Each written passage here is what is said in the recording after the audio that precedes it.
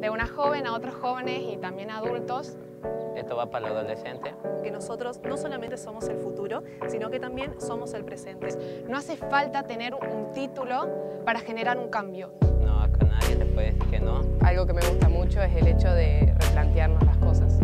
Por más que se hayan hecho de cierta manera por mucho tiempo, eh, no siempre las cosas son iguales. Los tiempos cambian y las personas también. Y creo que el consejo es buena manera de impulsar ese cambio.